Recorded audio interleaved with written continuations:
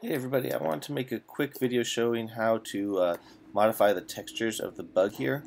Um, first thing, you do have these submeshes here for all the things, so it's easy to turn those on and off in code and whatnot so for your game.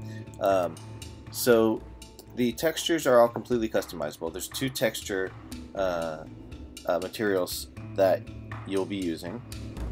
If you go into SF Bay Studios, uh, Bomber Bug right here, and procedural materials, you'll find them. It's the Bomber Bug and the add-ons. This is our latest version of our procedural materials. The first thing you want to do in order to actually change these, those won't do anything until you uh, click the Enable Texture Modification button, uh, and that activates all the changes on the main thing. So we're going to um, do this on the add-ons because you can see it here on the carapace and the legs and the pinchers and the horns more than you can see on the base side. Uh, but the concept is the same for both, so you'll just want to copy some of your um, your settings over. Uh, so for the base, this is the, the darker part here. Alright, there we go. So uh, this is the the base is this darker part, which you can make lighter, of course. Uh, so you can change the hue. We have the saturation a little bit. We should be able to start seeing some color.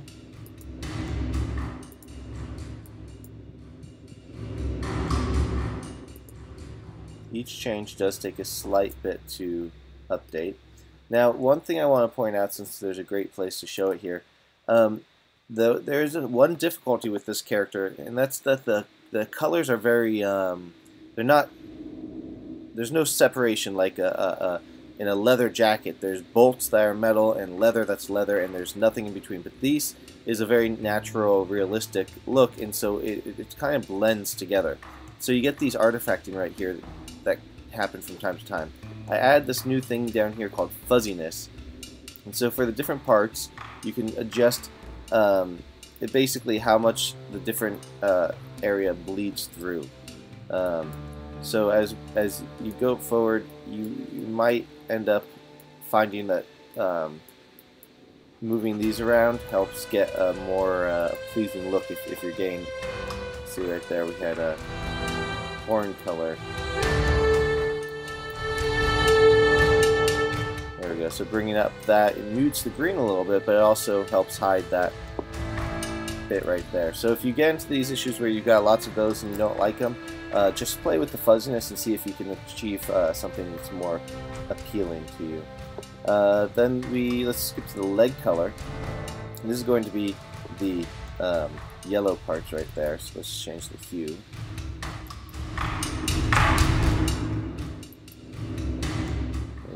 And bring, bring down the saturation a little bit. Alright, uh, you can also up the contrast if you so choose. And you'll notice it also is affecting the horns, the pincers, and the leg. And that's because um, for these new ones, oftentimes I'll include a match option. So for the horn right now, it's matching the leg color. So any change you make on the leg color including custom materials, is going to happen on the horn as well. If you don't want to do that, you can simply turn that off, and then you can make the horn a completely different color. Um, there you go. And uh, uh, you'll notice the legs are also changing, and that's likely because of the uh, Alright, so the horn fuzziness is now affecting the legs where we have the horn uh, fuzziness up, the legs get affected. But If we bring that horn color fuzziness down, the legs stop getting affected, but then we get this less smooth look right there. So in the end, um, this is slightly more difficult to work with than our other characters because of this. Um, but in order to get a very natural look uh, that looks like the character is very organic, um, we need to blur the lines between the colors. So it's going to take a little finagling to understand how that's working. But oftentimes, I think most often, uh, just simply matching the color of the leg is going to be uh, the most ideal situation. Um, uh, beyond that, and I'll, I'll, let you play with the rest, you can change the flesh color, which is the fleshy bits down here, um, the wing color and all that. But I want to show you some of the uh, environmental stuff as well. Uh, ground dirt's one of the most popular things. Let's bring this up to a bright color so we can see it. if you bring up the height and make sure to click the enable ground dirt. So you can see the height crawls up from the bottom. Uh, it would be affecting the rest. This is from the other material, so you'd want to make sure the this uh, data matches the data on the other material. Uh, that way it gets a smooth transition up both sides. Bring that back to a dirt color. We can lower the contrast a little bit and bring up the roughness. It shouldn't be set at zero, so it's more actual dirt. There we go. Um, ceiling dirt is the same, but from the top down.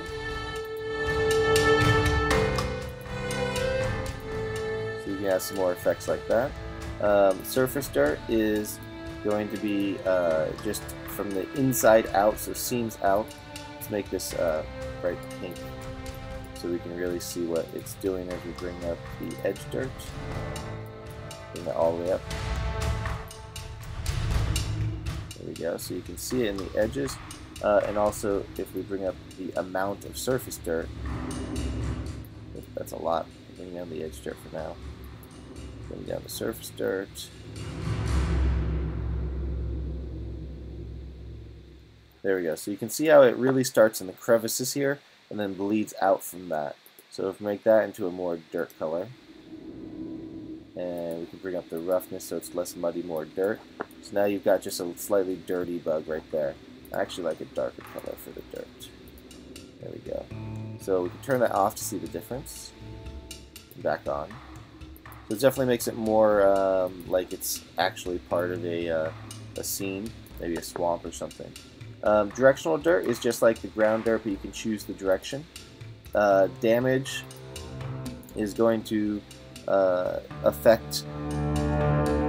Well, it will have an effect. It's it's not damage on like a, a shield or a piece of armor. Uh, bring up wear level. Let's see. Let's bring up the saturation a lot so we can see. Actually, a, let's bring up the lightness a lot. Can see where the damage occurs. Ah, it wasn't changing because I have this masked metal only set to 1. That means only metal will be um, damaged. Since there's no metal here, I have to set that to 0. And there we go. So now we got damages. Um, if we bring the lightness down a little bit and the roughness up and maybe the saturation up or down, I'll say down that almost looks like the bug has been beat up a little bit. Uh, definitely on the shell here on the carapace, it's got some issues going on. The wings are getting a little uh, flustered. And you could also, if you want, change the shape of, of the, the damage by changing the contrast level. High contrast, low contrast. Uh, you can also change the hue as well if you want to get more creative with the looks.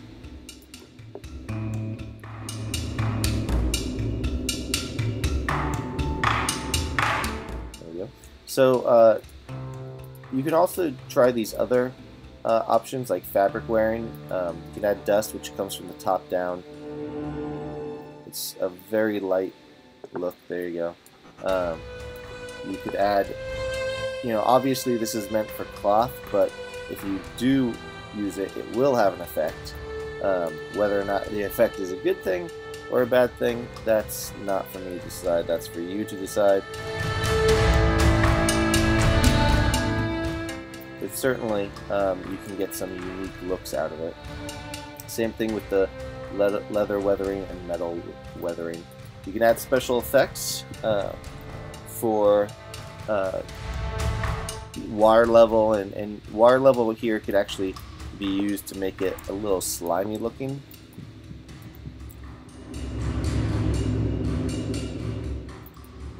Um, so now he's just very glossy like he's covered in some sort of uh, goo and you could also change the color of the water.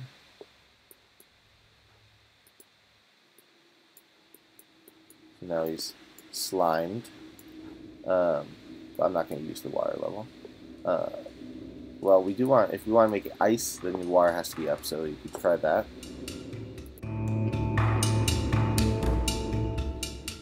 So now it's covered in an ice, and you can bring that water level down to make it less um, icy. We'll bring that down. Add snow. A lot of snow. Or a little bit of snow. And you could add moss as well. So, uh, there you go. So there you go. Um, there's a lot you can do with these. Uh, the pre-made textures I include don't have any environmental damage, no dirt or anything like that. So I do highly suggest that you make your own. Um, it's certainly more uh, more fun to make your own, I think. So enjoy. Have a great day, guys.